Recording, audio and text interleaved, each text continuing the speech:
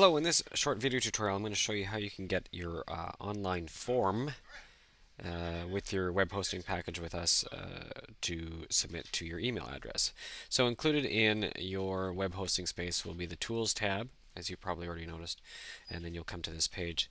And what you're going to see here is um, some example code. It's already been populated with your authorization key, so all you need to do is just copy this code here. You just select it with your uh, cursor and you copy it. Control C on a PC will do that. And then you go over to your page and you find your uh, contact page. I'm going to scroll down here and find, I'll just switch over to split view. And I'm going to scroll down, find my form, and then just switch over to uh, code view. And you see that I've actually already gone and placed my code in here but uh, this is about where you would place your code. You will probably always have a form tag here and there may be a second one if you're, you're using an old form from a FrontPage uh, form. It'll probably have something here and it'd probably look like webbot or something along those lines. Uh, and that would probably exist up here. In any case um, the code that you paste in would overwrite all that.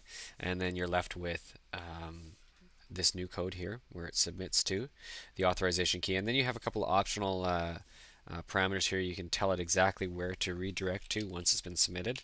So yourwebsite.com slash thank you. So it has to be an absolute URL also the subject you can optionally set what the uh, the email subject is um, form submission and you can also set which field to use an email address of the person that's sending it. So for example, somebody fills in this form and they type in their email address and you can actually have the response that's sent to you um, appear as though it's from their email address. So you just copy that name of the field, which is called user email, to the email from. It's a slightly advanced technique. I, I would not uh, recommend um, trying that right off the bat. Um, but that's how you go about doing it. And then there is one other thing that you can do, and that is to uh, add in an email address to send this uh, form to. By default, it will use the email address that is attached to the account for this web hosting space. So what if I want to add in, what if I want to make it different? Like me at mysite.com.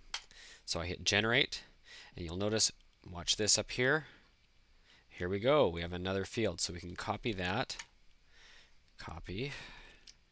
And then we switch over to our editor. And we just paste in here that email. But you know, you can actually add in more than one. How about uh, you at yoursite.com? Generate. You know, it's going to add in a second one here. And this is just example code. This is not adding it directly to your web page right at this moment, but it's uh, showing you how it should look. And you can just copy that code again and then punch in here.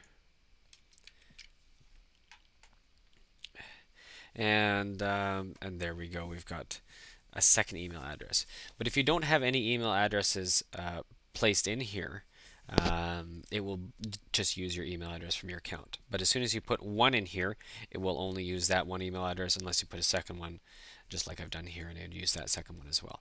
And that is all there is to setting up uh, your form page so that uh, it can use the, uh, the submit form handling application from server apps and uh, just save your page and publish it out.